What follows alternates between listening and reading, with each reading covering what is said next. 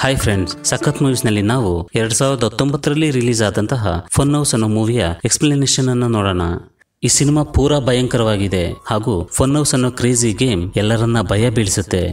ಒಬ್ಬ ಬುದ್ಧಿವಂತ ಸಮಾಜದ ಮೇಲೆ ಸಿಡಿ ತೀರಿಸಿಕೊಂಡ್ರೆ ಅದು ಎಷ್ಟು ಭಯಂಕರವಾಗಿರುತ್ತೆ ಅನ್ನೋದೇ ಈ ಫನ್ ಹೌಸ್ ಸಿನಿಮಾ ಓಪನ್ ಆದ್ರೆ ನೀರೋ ಅನ್ನೋ ಯಂಗ್ ಬಿಸಿನೆಸ್ ಮನ್ ಡೀಸೆಂಟ್ ಆಗಿ ಕುಳಿತಿದ್ದಾನೆ. ಇದ್ರಿಗೆ ಒಬ್ಬ ಯಂಗ್ ಲೇಡಿ ಅವಳು ಮತ್ತೊಬ್ಬಳನ್ನ ಬೇಸ್ಬಾಲ್ ಬ್ಯಾಟ್ನಿಂದ ಅತಿ ಕ್ರೂರವಾಗಿ ಬುರುಡೆ ಓಪನ್ ಆಗಿ ಹೋಗುವಂತ ಹೊಡಿತಿದ್ದಾಳೆ. ಅಂಡ್ ಆಕೆಯ ಕ್ರೂಯಾಲಿಟಿ ಆ ವೆದರನ್ನೇ ಬೆಚ್ಚಿ ಬೀಳಿಸುವಂತಿದೆ. ಅವಳನ್ನ ಅಷ್ಟು ಭಯಾನಕವಾಗಿ ಕೊಂದ ನಂತರ ಮೈಕೈಯೆಲ್ಲ ರಕ್ತ ಸ್ನಾನ ಮಾಡಿದಂತೆ ನೀರೋ ಕಡೆ ನೋಡ್ತಾಳೆ. ಅಷ್ಟಕ್ಕೆ ಸ್ಟಾಪ್ ಮಾಡಿಬಿಟ್ರೆ ಹೇಗೆ ನೀನು ಮಾಡಬೇಕಿರೋದು ಇನ್ನೂ ಇದೆಯಲ್ಲ ಅಂತಾನೆ. ಅದಕ್ಕೆ ಅವಳು ಹೇಳ್ತಾ, ಪ್ಲೀಸ್ ಇದನ್ನಿಷ್ಟಕ್ಕೆ ನಿಲ್ಲಿಸಿಬಿಡಿ. ನನ್ನನ್ನು ಬಿಟ್ಬಿಡಿ ಅಂತ ಗೋಗರಿತಾಳೆ. ಅದಕ್ಕೆ ನೀರು, ನೀನು ನಿನ್ನ ಪ್ರೈಸ್ ಮನಿ ಎಷ್ಟು ಬೇಕು ಅನ್ನೋದನ್ನ ಕೋಟ್ ಮಾಡಿದೆ. ನಾನು ನನ್ನ ಟರ್ಮ್ಸ್ ಅಂಡ್ ಕಂಡೀಷನ್ನ ಹೇಳಿ ಒಬ್ಬರನ್ನ ಭೀಕರವಾಗಿ ಕೊಲ್ಲಬೇಕು ಅಂದೆ. ಸೊ, ನೀನು ಅದನ್ನು ಕಂಪ್ಲೀಟ್ ಮಾಡ್ಬೇಕಲ್ವಾ? ಒಂದ್ ವೇಳೆ ನಮ್ಮ ಕಾಂಟ್ರಾಕ್ಟ್ ಪ್ರಕಾರ ನೀನು ನಿನ್ನ ಕೆಲಸ ಮಾಡದೆ ಹೋದ್ರೆ ನೆಕ್ಸ್ಟ್ ಏನಾಗುತ್ತೆ ಅನ್ನೋದು ಕೂಡ ನಿನಗೆ ಗೊತ್ತಲ್ವಾ ಅಂತಾನೆ. ಇದರಿಂದಾಗಿ ಆ ಯುವತಿ ಅಲ್ಲಿದ್ದಂಥ ಚಾಕುವನ್ನು ಎತ್ತಿಕೊಳ್ತಾಳೆ. ಅಲ್ಲಿ ಸತ್ತು ಬಿದ್ದಿದ್ದವಳ ಡೆಡ್ ಬಾಡಿಯನ್ನು ಬಗೆದು ಅವಳ ಹಾರ್ಟನ್ನು ಕಿತ್ತು ನೀರು ಮುಂದೆ ಇಡ್ತಾಳೆ. ಅದನ್ನ ನೋಡಿದಂತ ನೀರು ಲೈಟ್ ಆಗಿ ಸ್ಮೈಲ್ ಮಾಡಿ, ನೋಡಿದ್ಯಾ, ಎಷ್ಟು ಸಿಂಪಲ್ಲು ಅಂತ ಹೇಳಿ ದುಡ್ಡು ತುಂಬಿದ ಬ್ರೀಫ್ ಕೇಸ್ ಅನ್ನ ಅವಳ ಮುಂದಿಟ್ಟು ಇದನ್ನ ತಗೊಂಡೋಗು ಅಂತಾನೆ. That's what Nero Alexander a psychopath businessman who play horrible games with others scene cut ಆದ್ರೆ ಫಿರೋಕಾಸ್ ಫನ್ ಹೌಸ್ ಅನ್ನೋ ರಿಯಾಲಿಟಿ ಶೋ ಒಂದು ವೆಬ್ಸೈಟ್ನಲ್ಲಿ ಶುರುವಾಗುತ್ತೆ. ಸೇಮ್ ನಮ್ಮ ಬಿಗ್ ಬಾಸ್ ಶೋ ತರಾನೇ. ಟ್ವೆಂಟಿ ಫೋರ್ ಇಂಟು ಸೆವೆನ್ ಯಾವುದೇ ಟೆಕ್ನಿಕಲ್ ಪ್ರಾಬ್ಲಮ್ಗಳಿಲ್ಲದ ಕಮರ್ಷಿಯಲ್ ಬ್ರೇಕ್ಸ್ ಇಲ್ಲದಂತಹ ಅನ್ಸ್ಟಾಪಬಲ್ ಶೋ. ಮುಖ್ಯವಾಗಿ ಈ ಗೇಮ್ ಶೋ ನಲ್ಲಿ ಗೆದ್ದವರಿಗೆ five million U S dollar prize money.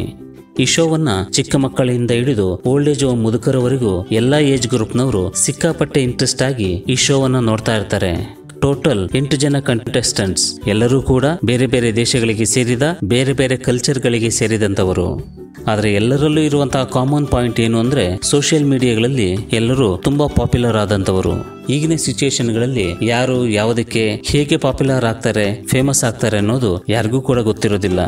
ಇವರು ಕೂಡ ಅಂತವ್ರೆ ಅಂತವರಲ್ಲಿ ಎಂಟು ಜನರನ್ನ ಸೆಲೆಕ್ಟ್ ಮಾಡಿ ಕರ್ಕೊಂಡು ಬಂದು ಒಂದು ಬಿಗ್ ಹೌಸ್ನಲ್ಲಿ ಬಿಸಾಕ್ತಾರೆ. ಆದ್ರೆ ಹೌಸ್ ಎಲ್ಲಿದೆ, ಏನು ಅನ್ನೋದು ಅಲ್ಲಿರೋ ಯಾರಿಗೂ ಕೂಡ ಗೊತ್ತಿರೋದಿಲ್ಲ. ಎಲ್ಲರೂ ಒಂದು ಕಡೆ ಮೀಟ್ ಆದ ನಂತರ ಪರಸ್ಪರ ಪರಿಚಯ ಮಾಡಿಕೊಳ್ತಾರೆ. ಆಗ ಸ್ಕ್ರೀನ್ ಮೇಲೆ ಒಂದು ಪಾಂಡ ಪ್ರತ್ಯಕ್ಷ ಆಗುತ್ತೆ. ಆ ಪಾಂಡನೇ ಈ ರಿಯಾಲಿಟಿ ಶೋನ ಹೋಸ್ಟ್ ನಮ್ಮ ಬಿಗ್ ಬಾಸ್ ಶೋ ಸುದೀಪ್ ತರ ಅನ್ಬೋದು. ಆದ್ರೆ ಆ ಸ್ಕ್ರೀನ್ ಮೇಲೆ ಕಾಣಿಸಿದಂತಹ ಫಾಂಡ ಹಿನ್ನೆಲೆಯಲ್ಲಿ ಇರೋದು ಬೇರೆ ಯಾರು ಅಲ್ಲ ನೀರೋ ಸಿಜಿಐ ನಲ್ಲಿ ಚೇಂಜ್ ಆಗಿ ಡಿಫ್ರೆಂಟ್ ವಾಯ್ಸ್ನಲ್ಲಿ ಪ್ರೋಗ್ರಾಮ್ ಹೋಸ್ಟ್ ಮಾಡತೊಡಗ್ತಾನೆ. ಪಾಂಡ ಫಸ್ಟ್ ಎಲ್ಲರನ್ನು ಆಡಿಯನ್ಸ್ಗೆ ಇಂಟ್ರೊಡ್ಯೂಸ್ ಮಾಡುತ್ತೆ.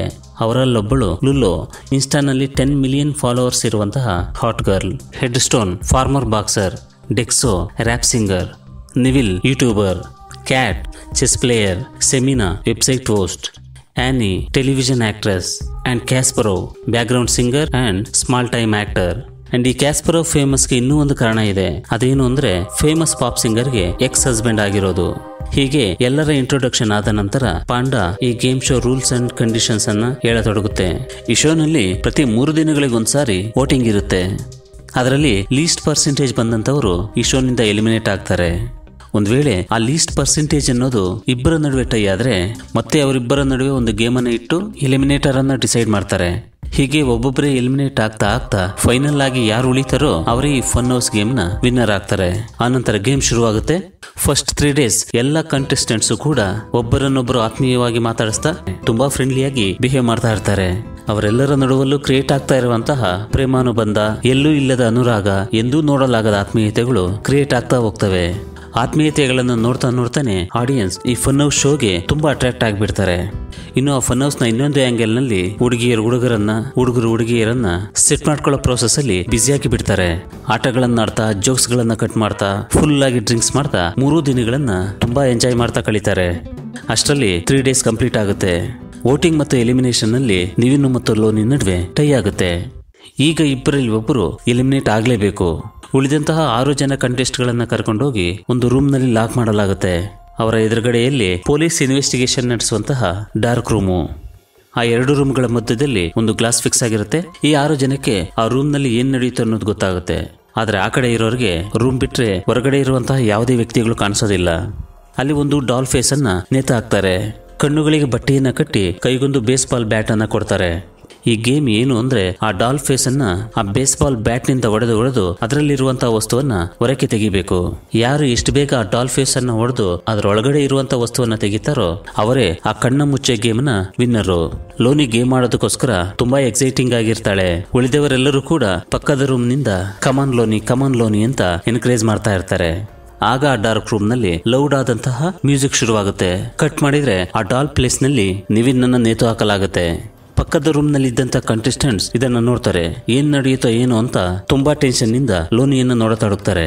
ಲೋನಿ ತನ್ನ ಬಲವನ್ನೆಲ್ಲ ಉಪಯೋಗಿಸಿ ಆ ಡಾಲ್ ಫೇಸ್ನ ಕಡೆ ಹೊಡೆಯೋದಕ್ಕೆ ಶುರು ಮಾಡ್ತಾಳೆ. ಪಕ್ಕದ ರೂಮ್ನ ಕಂಟೆಸ್ಟೆಂಟ್ಗಳು ನೋ ಅಂತ ಜೋರಾಗಿ ಕಿರ್ಚೆ ತೊಡಗ್ತಾರೆ. ಆದ್ರೆ ಕಣ್ಣಿಗೆ ಬಟ್ಟೆ ಕಟ್ಟಿರೋದ್ರಿಂದ ಮತ್ತು ಆ ರೂಮಲ್ಲಿ ಲೌಡ್ ಮ್ಯೂಸಿಕ್ ಹಾಕಿರೋದ್ರಿಂದ ಲೋನಿಗೆ ಏನು ಕೂಡ ಕೇಳಿಸಲ್ಲ, ಏನು ಕೂಡ ಕಾಣಿಸಲ್ಲ.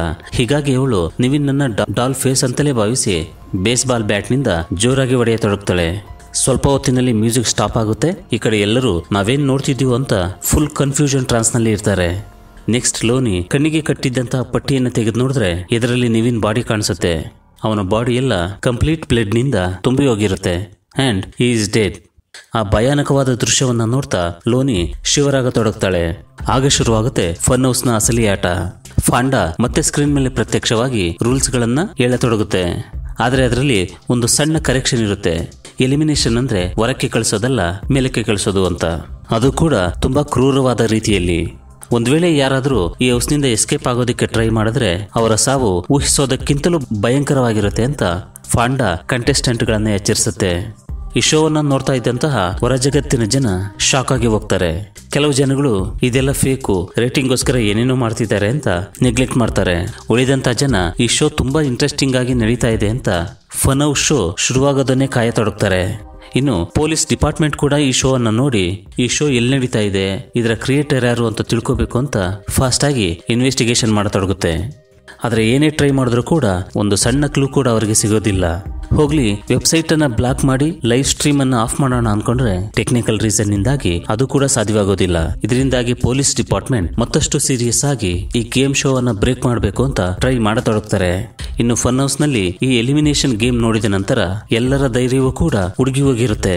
ನಿನ್ನೆಯವರೆಗೂ ಪ್ರೇಮ ಅಂದ್ರೆ ಇದು, ಸ್ನೇಹ ಅಂದ್ರೆ ನಮ್ದು ಅಂತ ತುಂಬಾ ಹಾರಾಡ್ತಾ ಇದ್ದಂತವ್ರು ಈಗ ಮಾತಾಡ್ಸಿದ್ರೆ ಸಿಡ್ಕತೊಡಗ್ತಾರೆ. ಟಚ್ ಮಾಡಿದ್ರೆ ಜಗಳಕ್ಕೆ ಬರತೊಡಗ್ತಾರೆ ಅವರಲ್ಲಿ ಡಿಕ್ಸ್ ಅನ್ನೋ ಕಂಟೆಸ್ಟೆಂಟ್, ಅವರೆಲ್ಲರೂ ಬೇಡ ಬೇಡ ಅಂದರೂ ಕೂಡ ಯಾರ ಮಾತನ್ನು ಕೇಳದೆ ಅಲ್ಲಿಂದ ಎಸ್ಕೇಪ್ ಆಗೋದಕ್ಕೆ ಟ್ರೈ ಮಾಡ್ತಾನೆ. ದಟ್ಸ್ ಇಟ್ ಅವನನ್ನು ಎತ್ತಾಕೊಂಡೋಗಿ ಒಂದು ಡ್ರಮ್ನಲ್ಲಿ ನೇತಾಕ್ತಾರೆ. ನಂತರ ಆ ಡ್ರಮ್ಗೆ ಕೆಮಿಕಲ್ ಅನ್ನು ಫಿಲ್ ಮಾಡ್ತಾರೆ. ಇದರಿಂದಾಗಿ ಡಿಕ್ಸ್ನ ಬಾಡಿ ಕೆಮಿಕಲ್ನಲ್ಲಿ ಎಷ್ಟು ಮುಳುಗಿರುತ್ತೋ ಅಷ್ಟು ಪೂರ ಸೋಪ್ ಪೌಡರ್ ಥರ ಕರಗಿ ಹೋಗುತ್ತೆ. ಆ ದಾರುಣವನ್ನು ನೋಡಿದ ನಂತರ ಯಾರು ಕೂಡ ಅಲ್ಲಿಂದ ಓಡೋಗ್ಬೇಕು ಅಂತ ಟ್ರೈ ಕೂಡ ಮಾಡೋದಿಲ್ಲ. ಎಲ್ಲರೂ ಕೂಡ ಆಡಿಯನ್ಸ್ಗೆ, ಪ್ಲೀಸ್ ನಮಗೆ ವೋಟ್ ಮಾಡಿ, ನಮ್ಮನ್ನ ಸೇಫ್ ಮಾಡಿ ಅಂತ ರಿಕ್ವೆಸ್ಟ್ ಮಾಡಿಕೊಳ್ಳತೊಡಗ್ತಾರೆ. ಲುಲು ಅಂತೂ ಆಡಿಯನ್ಸ್ ಅನ್ನ ಡೈರೆಕ್ಟ್ ಆಗಿ ಅಟ್ರಾಕ್ಟ್ ಮಾಡೋದಕ್ಕೋಸ್ಕರ ತನ್ನ ಡ್ರೆಸ್ ಎಲ್ಲವನ್ನೂ ಕೂಡ ಕಳಚಿ ಬಿಸಾಕಿ ಮೈಮಾಟವನ್ನ ಪ್ರದರ್ಶಿಸುತ್ತಾ, ಪ್ಲೀಸ್ ನನಗೆ ವೋಟ್ ಮಾಡಿ ಅಂತ ರಿಕ್ವೆಸ್ಟ್ ಮಾಡತೊಡಗ್ತಾಳೆ. ಆದರೆ ನೆಕ್ಸ್ಟ್ ಎಲಿಮಿನೇಷನ್ಗೆ ಸೆಮಿನಾಳ ಜೊತೆ ಲುಲು ಕೂಡ ಸೆಲೆಕ್ಟ್ ಆಗ್ತಾಳೆ. ಸೇಮ್ ಇಬ್ಬರನ್ನು ಕರೆದುಕೊಂಡೋಗಿ ಒಂದು ರೂಮ್ನಲ್ಲಿ ಲಾಕ್ ಮಾಡ್ತಾರೆ. ಇಬ್ಬರ ಕೈಗಳಲ್ಲೂ ಕೂಡ ಶಾರ್ಪ್ ಆಗಿರುವಂತಹ ಕೊಡಲಿಗಳನ್ನು ಕೊಟ್ಟು ಆ ರೂಮ್ನ ಲೈಟ್ಗಳನ್ನು ಆಫ್ ಮಾಡಿ ಈಗ ಫೈಟ್ ಮಾಡ್ಕೊಳ್ಳಿ ಅಂತ ಬಿಟ್ಟುಬಿಡ್ತಾರೆ ಇದರಲ್ಲಿ ಯಾರು ಉಳ್ಕೊಳ್ತಾರೋ ಅವ್ರು ವಿನ್ನರ್ ಆಗ್ತಾರೆ. ಉಳಿದವರು ಎಲಿಮಿನೇಟ್ ಆಗ್ತಾರೆ ಅಂತ ಹೇಳಲಾಗುತ್ತೆ. ಇನ್ನು ಆ ಡಾರ್ಕ್ ರೂಮ್ನಲ್ಲಿ ಬದುಕಿ ಉಳಿಯೋದಕ್ಕೋಸ್ಕರ ಇಬ್ಬರು ಕೂಡ ಫೈಟ್ ಮಾಡತೊಡಗ್ತಾರೆ ಉಳಿದಿರುವಂತಹ ಕಂಟೆಸ್ಟೆಂಟ್ಗಳು ಪಕ್ಕದ ರೂಮ್ನಿಂದ ನೋಡ್ತಾ ಯಾರಿಗೆ ಸಪೋರ್ಟ್ ಮಾಡಬೇಕು ಏನು ಅಂತ ಗೊತ್ತಾಗದೆ ಸ್ಟನ್ನಾಗಿ ನೋಡ್ತಾ ನಿಂತು ಬಿಡ್ತಾರೆ ಕೊನೆಗೆ ಆ ಫೈಟ್ನಲ್ಲಿ ಲುಲು ಸೆಮಿನಾಳ ಹೆಡ್ಗೆ ಕೊಡ್ಲಿಯನ್ನು ನುಗ್ಗಿಸ್ತಾಳೆ. ಇದರಿಂದಾಗಿ ಸೆಮಿನಾ ಅಲ್ಲೇ ಸತ್ತು ಎಲಿಮಿನೇಟ್ ಆಗ್ತಾಳೆ. ಲೂಲು ನೆಕ್ಸ್ಟ್ ಲೆವೆಲ್ಗೆ ಎಂಟರ್ ಆಗ್ತಾಳೆ. ಬಟ್ ನೆಕ್ಸ್ಟ್ ತ್ರೀ ಡೇಸ್ ನಂತರವೂ ಕೂಡ ಲೂಲು ಮತ್ತೆ ಎಲಿಮಿನೇಟ್ ಆಗ್ತಾಳೆ. ಎಲಿಮಿನೇಷನ್ನಲ್ಲಿ ಒಬ್ಬಳೇ ಬಂದಿರೋದ್ರಿಂದ ಅವಳಿಂದ ಟರ್ನ್ ವೀಲ್ ಗೇಮ್ ಅನ್ನು ಆಡಿಸಲಾಗುತ್ತೆ. ಅದರಲ್ಲಿ ಡಿಫ್ರೆಂಟ್ ಡಿಫ್ರೆಂಟ್ ವೇನಲ್ಲಿ ಎಲಿಮಿನೇಟ್ ಆಗುವಂತ ಆಪ್ಷನ್ಸ್ ಇರುತ್ತೆ. ಎಲಿಮಿನೇಷನ್ನ ಜೊತೆಗೆ ಆ ಗೇಮ್ನಲ್ಲಿ ಪಾಸ್ ದ ಬಕ್ ಅನ್ನೋ ಆಪ್ಷನ್ ಕೂಡ ಇರುತ್ತೆ. ಒಂದು ವೇಳೆ ಆ ಆಪ್ಷನ್ ಏನಾದರೂ ಇವರಿಗೆ ಬಂದರೆ, ಅವರು ಎಲಿಮಿನೇಷನ್ನಿಂದ ತಪ್ಪಿಸ್ಕೊಂಡು ಅವರ ನೆಕ್ಸ್ಟ್ ಪ್ಲೇಸ್ನಲ್ಲಿ ಇರುವಂತವರು ಎಲಿಮಿನೇಟ್ ಆಗ್ತಾರೆ. ಆದ್ರೆ ಬ್ಯಾಡ್ ಲಕ್ ಏನು ಅಂದರೆ ವೀಲ್ ರನ್ ಆಗುತ್ತೆ. ಲುಲ್ಲುಗೆ ಭಯಾನಕ ರೀತಿಯ ಎಲಿಮಿನೇಷನ್ ಕನ್ಫರ್ಮ್ ಆಗುತ್ತೆ. ಕೈಗಳಿಗೆ ಮತ್ತು ಕಾಲುಗಳಿಗೆ ನಾಲ್ಕು ಕಡೆಗಳಿಂದ ಹಗ್ಗವನ್ನು ಕಟ್ಟಿ ಭೀಕರವಾಗಿ ಎಲಿಮಿನೇಟ್ ಮಾಡಲಾಗುತ್ತೆ.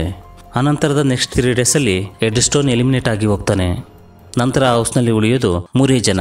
ಕ್ಯಾಸ್ಪರೋವ್ ಲೋನಿ ಮತ್ತು ಕ್ಯಾಟ್ ಕ್ಯಾಸ್ಪರೋವ್ ಮತ್ತು ಲೋನಿ ಮಧ್ಯೆ ಮೊದಲಿನಿಂದಲೂ ಸಣ್ಣ ಸಣ್ಣ ರೊಮ್ಯಾಂಟಿಕ್ ಲುಕ್ಸು ಎಕ್ಸ್ಚೇಂಜ್ ಆಗ್ತಾನೆ ಇರ್ತವೆ. ಇಷ್ಟು ದೂರ ಬಂದ ಮೇಲೆ ಇಲ್ಲಿರೋರು ವಾಪಸ್ ಹೋಗೋದಿಲ್ಲ ಅಂತ ಗೊತ್ತಾದ್ಮೇಲೆ ಫನ್ ಹೌಸ್ ಫುಲ್ ರೊಮ್ಯಾನ್ಸ್ ಶುರು ಮಾಡ್ತಾರೆ. ಇನ್ನು ಕ್ಯಾಟ್ ಕೂಡ ಯಾವುದೋ ಒಂದು ವಿಧದಲ್ಲಿ ಆಡಿಯನ್ಸ್ ಅನ್ನ ಅಟ್ರಾಕ್ಟ್ ಮಾಡಬೇಕು. ಹಾಗಾಗಿ ಅವಳು ಕೂಡ ಕ್ಯಾಮರಾ ಮುಂದೆ ಮೈಮಾಟವನ್ನು ಪ್ರದರ್ಶಿಸುತ್ತಾಳೆ ಇದೆಲ್ಲವನ್ನು ನೋಡ್ತಾ ಇದ್ದಂತಹ ಹೊರ ಜಗತ್ತಿನ ಆಡಿಯನ್ಸ್ ಮಾತ್ರ ಕಣ್ರೆಪ್ಪೆಗಳನ್ನು ಮಿಟುಕಿಸದೆ ಆ ಶೋವನ್ನು ನೋಡ್ತಾ ಇರ್ತಾರೆ. ನಂತರದ ವೋಟಿಂಗ್ನಲ್ಲಿ ಕ್ಯಾಸ್ಪರೋ ಮತ್ತು ಲೋನಿ ವಿನ್ ಆಗ್ತಾರೆ. ಕ್ಯಾಟ್ ಎಲಿಮಿನೇಷನ್ ರೌಂಡ್ಗೆ ಬರ್ತಾಳೆ. ಆದರೆ ಸ್ಪಿನ್ ದ ವೀಲ್ ಗೇಮ್ನಲ್ಲಿ ಪಾಸ್ ದ ಬಕ್ ಆಪ್ಷನ್ ಅವಳಿಗೆ ಸಿಕ್ಬಿಡುತ್ತೆ. ಹಾಗಾಗಿ ಅವಳು ಎಲಿಮಿನೇಷನ್ನಿಂದ ಬಚಾವ್ ಆಗ್ತಾಳೆ ನೆಕ್ಸ್ಟ್ ಪ್ಲೇಸ್ನಲ್ಲಿ ಇದ್ದಂತ ಲೋನಿ ಎಲಿಮಿನೇಷನ್ ರೌಂಡ್ಗೆ ಎಂಟರ್ ಆಗ್ತಾಳೆ. ಆದರೆ ಕ್ಯಾಸ್ಪರು, ಲೋನಿ ಪ್ಲೇಸ್ನಲ್ಲಿ ನನ್ನನ್ನು ಎಲಿಮಿನೇಟ್ ಮಾಡಿ ಅಂತ ರಿಕ್ವೆಸ್ಟ್ ಮಾಡ್ತಾನೆ. ಆಗ ಪಾಂಡವ ರೂಪದಲ್ಲಿ ಇದ್ದಂತ ನೀರು, ಇದಕ್ಕೆ ಫನ್ ಹೌಸ್ ರೂಲ್ಸ್ ಒಪ್ಕೊಳ್ಳೋದಿಲ್ಲ ಅಂತ ಹೇಳ್ತಾನೆ. ಅದಕ್ಕೆ ಕ್ಯಾಸ್ಪರೋ ಸಿಟ್ಟಾಗಿ ರೂಲ್ಸ್ ಅಂತೆ ರೂಲ್ಸು ಯಾವುದೋ ರೂಲ್ಸು ಎಲ್ಲ ಮಾಡಿದ್ದು ನೀನೇ ಅಲ್ವಾ? ಚೇಂಜ್ ಮಾಡು ಅಂತ ಆವಾಜ್ ಆಗ್ತಾನೆ ನೀರು ಸಣ್ಣದಾಗಿ ಸ್ಮೈಲ್ ಮಾಡ್ತಾ, ಸರಿ, ಹಾಗೆ ಆಗಲಿ ಅಂತ ಹೇಳ್ತಾನೆ. ತೀರಾ ನೋಡಿದ್ರೆ ಲೋನಿಯ ಜೊತೆ ಕ್ಯಾಸ್ಪರವ್ನನ್ನು ಕೂಡ ಎಲಿಮಿನೇಟ್ ಮಾಡ್ತಾನೆ. ಏನಿದೆಲ್ಲ ಅಂತ ಕ್ಯಾಸ್ಪರವ್ ಕೇಳಿದ್ರೆ, ಅದಕ್ಕೆ ನೀರು, ನೀನೇ ಹೇಳಿದಲ್ವಾ? ರೂಲ್ಸ್ ಚೇಂಜ್ ಮಾಡು ಅಂತ ಮಾಡಿದ್ದೀನಿ. ಇದು ನಾನು ಮಾಡಿರೋ ರೂಲ್ಸು, ಇಲ್ಲಿ ಹೀಗೆ ಇರುತ್ತೆ ಅಂತ ಹೇಳ್ತಾನೆ. ಲೋನಿ ಮತ್ತು ಕ್ಯಾಸ್ಪರವ್ ಕೈಯಲ್ಲಿ ಗನ್ಗಳನ್ನು ಕೊಡಲಾಗುತ್ತೆ. ಟೆನ್ ಕೌಂಟ್ ಮಾಡುವಷ್ಟರಲ್ಲಿ ಇಬ್ಬರಲ್ಲಿ ಯಾರಾದರೂ ಒಬ್ಬರನ್ನ ಕೊಲ್ಲಲೇಬೇಕು ಒಂದು ವೇಳೆ ಅದಾಗದೆ ಹೋದ್ರೆ ಇಬ್ಬರನ್ನು ಭಯಾನಕವಾಗಿ ಎಲಿಮಿನೇಟ್ ಮಾಡಲಾಗುತ್ತೆ ಅಂತ ವಾರ್ನಿಂಗ್ ಕೊಡ್ತಾನೆ. ಕೌಂಟ್ ಡೌನ್ ಶುರುವಾಗುತ್ತೆ. ಕ್ಯಾಸ್ಪರೋ ಮತ್ತು ಲೋನಿ ಇಷ್ಟು ದಿನವೂ ಕೂಡ ತುಂಬಾ ಕ್ಲೋಸ್ ಆಗಿದ್ದರಿಂದ ಇಬ್ಬರು ಒಬ್ಬರ ಕಣ್ಣುಗಳನ್ನೊಬ್ಬರು ನೋಡಿಕೊಳ್ತಾರೆ. ಟೆನ್ ಅಂತ ಹೇಳುತ್ತಲೇ ಇಬ್ಬರು ಒಬ್ಬರಿಗೊಬ್ಬರು ಶೂಟ್ ಮಾಡಿಕೊಂಡು ಸತ್ತು ಹೋಗ್ತಾರೆ. ದಟ್ಸ್ ಇಟ್ ಗೇಮ್ನಲ್ಲಿ ಕೊನೆಗೆ ಕ್ಯಾಟ್ ಮಾತ್ರವೇ ಉಳಿತಾಳೆ. ನೀರೋ ಹೇಳಿದಂತೆ ಕ್ಯಾಟ್ಲನ್ನ ವಿನ್ನರ್ ಅಂತ ಅನೌನ್ಸ್ ಮಾಡಿ ಫೈವ್ ಮಿಲಿಯನ್ ಡಾಲರ್ಸ್ ಅನ್ನು ಕೊಟ್ಟು ಅವಳನ್ನು ಬಿಟ್ಟು ಬಿಡ್ತಾನೆ ಅದೇ ಸಮಯಕ್ಕೆ ಸರಿಯಾಗಿ ಪೊಲೀಸ್ ಕಾಪ್ಸ್ ಕೂಡ ಆ ಫನ್ ಹೌಸ್ ಅನ್ನ ಕವರ್ ಮಾಡ್ತಾರೆ. ಆದರೆ ಅವರಿಗೆ ಆ ಕಂಟೆಸ್ಟೆಂಟ್ಗಳ ಹೆಡ್ಗಳು ಮಾತ್ರ ಸಿಗ್ತವೆ. ಎಲ್ಲವೂ ಕೂಡ ಕ್ಲೂಲೆಸ್ ಇನ್ನು ಕ್ಯಾಟ್ಲನ್ನು ಕೂಡ ಇನ್ವೆಸ್ಟಿಗೇಷನ್ ಮಾಡಿ ಯಾವುದೇ ಕ್ಲೂ ಅನ್ನ ಕಂಡುಹಿಡಿಯಲಾಗದೆ ಹೋಗ್ತಾರೆ. ಅಸಲು ಈ ಫನ್ ಹೌಸ್ ಶೋ ಅನ್ನ ಯಾರು ಕ್ರಿಯೇಟ್ ಮಾಡಿದ್ರು ಅನ್ನೋದು ಯಾರಿಗೂ ಕೂಡ ಗೊತ್ತಾಗೋದಿಲ್ಲ. ಹೀಗೆ ಫನ್ ಹೌಸ್ ಕೇಸು ಸಾಲ್ವ್ ಆಗದಂತ ಕೇಸಾಗಿ ಉಳಿದು ಹೋಗುತ್ತೆ. ಇನ್ನು ನೀರೋ ಯಾಕೆ ಈ ಫನ್ ಹೌಸ್ ಗೇಮ್ ಅನ್ನ ನಡೆಸ್ದ ಅಂತ ನೋಡೋದಕ್ಕೆ ಹೋದ್ರೆ ಫಸ್ಟ್ ಆಫ್ ಆಲ್ ಅವನೊಬ್ಬ ಸೈಕೋಪಾತ್ ಅವನ ದೃಷ್ಟಿಯಲ್ಲಿ ತುಂಬಾ ಕಷ್ಟಪಟ್ಟು ಮೇಲೆ ಬಂದಂತಹ ತನ್ನಂತವರಿಗೆ ಸೋಲ್ಜರ್ಗಳಿಗೆ ರೈತರಿಗೆ ಈ ಸಮಾಜದಲ್ಲಿ ರೆಸ್ಪೆಕ್ಟೇ ಸಿಗ್ತಾ ಇಲ್ಲ. ಪ್ರೆಸೆಂಟ್ ಟೈಮ್ನಲ್ಲಿ ಜನರು ಇವರೆಲ್ಲರನ್ನೂ ಕೂಡ ಮರೆತು ಯಾರ್ಯಾರನ್ನು ಯಾವ್ಯಾವುದೋ ಸಿಲ್ಲಿ ಕಾರಣಕ್ಕೆ ಲೈಕ್ ಮಾಡತೊಡಗ್ತಾರೆ ಸೆಲೆಬ್ರಿಟಿಗಳನ್ನಾಗಿ ಮಾಡ್ತಾರೆ. ಹಾಗೆ ದಿಢೀರ್ ಸೆಲೆಬ್ರಿಟಿ ಆದಂತಹ ಎಂಟು ಜನರನ್ನ ಕೂಡಿಸಿ ಫನ್ ಹೌಸ್ ಶೋ ಅನ್ನ ಶುರು ಮಾಡ್ತಾನೆ. ಇನ್ನು ಅವನು ಆ ಶೋ ಮೂಲಕ ಪ್ರೂವ್ ಮಾಡ್ಬೇಕು ಅನ್ಕೊಂಡಂತ ಪಾಯಿಂಟ್ ಏನು ಅಂದ್ರೆ ಯಾವಾಗಿನಿಂದ ಅವನು ಎಲಿಮಿನೇಷನ್ ಅನ್ನ ಆ ಶೋನಲ್ಲಿ ಶುರು ಮಾಡಿದ್ನೋ ಆಗಿನಿಂದ ವ್ಯೂವರ್ಶಿಪ್ ತುಂಬಾ ಹೆಚ್ಚಾಗ್ತಾ ಹೋಗುತ್ತೆ. ಆಡಿಯನ್ಸ್ ಎಲ್ಲರೂ ಕೂಡ, ಅಯ್ಯೋ ಪಾಪ ಅಂತ ಕಂಟೆಸ್ಟೆಂಟ್ಗಳ ಮೇಲೆ ಸಿಂಪತಿಯನ್ನು ತೋರಿಸ್ತಾ twenty four into seven phone ಹೌಸ್ನೊಳಗೆ ಏನೇನು ನಡೆಯುತ್ತೆ ಅಂತ ನೋಡತೊಡಗ್ತಾರೆ. ಆದರೆ, ಅವರ ಇನ್ನಿಂಗ್ ಫೀಲಿಂಗ್ಸ್ ಹೇಳೋದಾದ್ರೆ, ಅವರು ಆ ಶೋ ನೋಡ್ತಾ ಇದ್ದಿದ್ದು, ಆ ಕಂಟೆಸ್ಟೆಂಟ್ಗಳಿಗೆ ಏನಾಗುತ್ತೋ ಏನೋ, ಹೇಗೆ ಎಲಿಮಿನೇಟ್ ಆಗ್ತಾರೋ ಏನೋ ಅನ್ನೋ ಸಿಂಪತಿಯಿಂದೇನೂ ಅಲ್ಲ. ಅಸಲಿಗೆ ಅವರು ಯಾಕೆ ಶೋ ಅನ್ನು ನೋಡ್ತಾ ಇದ್ದಾರೆ ಅಂದ್ರೆ, ಆ ಶೋ ಅವರನ್ನು ತುಂಬಾ ಎಕ್ಸೈಟ್ ಮಾಡುತ್ತೆ. ಮೋರ್ ದನ್ ದಟ್ ಎಂಟರ್ಟೈನ್ ಕೂಡ ಮಾಡುತ್ತೆ. ಈ ವಿಷಯ ಅವರಿಗೂ ಕೂಡ ಅರ್ಥವಾಗೋದಿಲ್ಲ. ನಾವು ಅವರಿಗೆ ಸಿಂಪತಿಯನ್ನ ತೋರಿಸ್ತಾ ಇದ್ದೀವಿ ತೋರಿಸ್ತಾ ಇದ್ದೀವಿ ಅಂತ ಅಂದುಕೊಳ್ಳೋದ್ರ ಮೂಲಕ ಎಂಟರ್ಟೈನ್ ಆಗ್ತಾ ಇರ್ತಾರೆ. ಎಕ್ಸೈಟ್ ಆಗಿ ಶೋ ಅನ್ನ ನೋಡ್ತಾ ಇರ್ತಾರೆ. ಒಂದ್ ವೇಳೆ ಅದೇ ಕಷ್ಟಗಳು ನಮ್ಮ ಪಕ್ಕದ ಮನೆಯಲ್ಲೇ ಇರೋರಿಗಿದ್ರು ನಾವು ಆ ಕಡೆ ತಿರುಗೂ ಕೂಡ ನೋಡಲ್ಲ. ನಾವು ಸೀರಿಯಲ್ಗಳನ್ನು ನೋಡ್ತಾ ಸುಳ್ಳುಗಳಿಂದ ಕೂಡಿದ ಸತ್ಯವನ್ನು ಅರಗಿಸಿಕೊಳ್ಳೋದಕ್ಕೂ, ಕಣ್ಣೆದುರುಗಡೆನೆ ಕಾಣಿಸುವಂತ ಸತ್ಯವನ್ನು ಅರಗಿಸಿಕೊಳ್ಳೋದಕ್ಕೂ ತುಂಬಾ ವ್ಯತ್ಯಾಸವಿದೆ. ಸೊ ಹಾಗಾಗಿ ಒಳಗಡೆ ನಾವೆಲ್ಲರೂ ಕೂಡ ಒಂದೇನೆ ನೀರೋ ಅಲೆಕ್ಸಾಂಡರ್ನ ಹಾಗೆ. ಹೀಗೆ ಸಿಂಪತಿ ಮತ್ತು ಎಂಟರ್ಟೈನ್ಮೆಂಟ್ ಕಾಯಿಲೆಯಿಂದ ಬಳಲ್ತಾ ಇರುವಂತಹ ಈ ಸಮಾಜಕ್ಕೆ ಒಂದು ಪಾಯಿಂಟ್ ಅನ್ನ ಪ್ರೂವ್ ಮಾಡಬೇಕು ಅಂದ್ಕೊಳ್ತಾನೆ. ಹೀಗಾಗಿ ಆತ ಕ್ರಿಯೇಟ್ ಮಾಡ್ಕೊಂಡಿದ್ದೆ ಫನ್ ಹೌಸ್ ಶೋ. ಆನಂತರ ನೀರು ಒಂದು ಇಂಟರ್ವ್ಯೂನಲ್ಲಿ ಕಾಣಿಸ್ಕೊಳ್ತಾನೆ. ಇದರಿಂದ ನಮಗೆ ಗೊತ್ತಾಗುತ್ತೆ ಆತ ಒಬ್ಬ ಶ್ರೀಮಂತ ಮತ್ತು ಸಕ್ಸಸ್ಫುಲ್ ವ್ಯಕ್ತಿ ಅಂತ. ನಂತರ ನೀರು ಪಿಯಾನೋ ಬಾರಿಸ್ತಾ ಇರ್ತಾನೆ. ಆಗ ಅವನ ಹಿಂದಿನಿಂದ ಕ್ಯಾಟ್ ಕಾಣಿಸಿಕೊಳ್ತಾಳೆ. ಇದರಿಂದ ನಮಗೆ ಗೊತ್ತಾಗುತ್ತೆ ಕ್ಯಾಟ್ ನೀರೋನ ಗರ್ಲ್ ಫ್ರೆಂಡ್ ಅಂತ. ಅಂಡ್ ಅವಳನ್ನ ಆ ಫನ್ ಶೋ ಗೇಮ್ಗೆ ಕಳಿಸಿದ್ದು ಮತ್ತು ಅವಳನ್ನ ವಿನ್ನರ್ ಆಗಿ ಮಾಡಿದ್ದು ಆ ಗೇಮ್ ಶೋನ ಪ್ಲಾನ್ ಆಗಿತ್ತು ಅಂತ. ಅಂಡ್ ಫೈವ್ ಮಿಲಿಯನ್ ಡಾಲರ್ಸ್ ಕೂಡ ಮತ್ತೆ ನೀರು ಹತ್ರಕ್ಕೆ ವಾಪಸ್ ಬರುತ್ತೆ. ಅಲ್ಲಿಗೆ ಈ ಸಿನಿಮಾ ಎಂಡ್ ಆಗುತ್ತೆ.